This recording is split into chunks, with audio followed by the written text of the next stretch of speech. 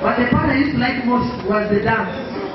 When you go for a village dance, let me tell you, they don't know these things of, of uh, titles of our music. Wow! Once they hear a song, once they like a song, and they can't get the words, they will put their own words.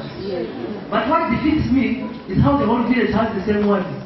I always wanted to know who's the composer. and for them, the other DJ those was called Shabba Ranks. Shabaranks, uh-huh. One day they played a song, I never, I never knew the words until that day. They played the song, everybody jumped. Aye! Tell them, "Bobby, can I go for the- you know, I'm looking at the song, you know.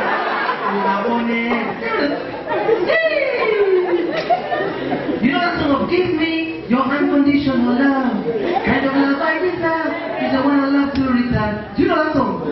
My village know they sing it. Give me Ibarukundo Yahweh. And the love I deserve. I never forget.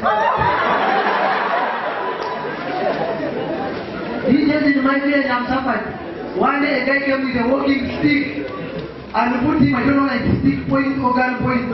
Told the DJ, again. Agenda, play agenda. The DJ did agenda. It became chaos. And then the chairman came and settled the issue and they had to take him away. Then later, the DJ played his song. Kama ukume pete agenda niko itakoti. The man came with it. Did I tell you?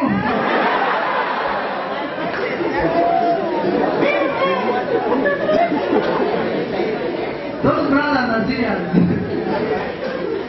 and I mean, they're, they're, they're requesting for songs. For them, they have their own titles. One time I was in, in uh, Chigezi, voice of.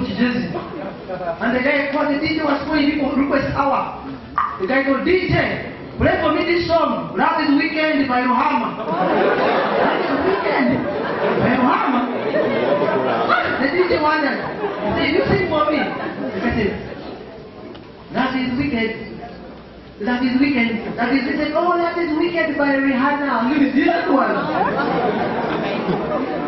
That killed me is when the DJ, the next could said, I want this song in Mayambara. in Mayambara.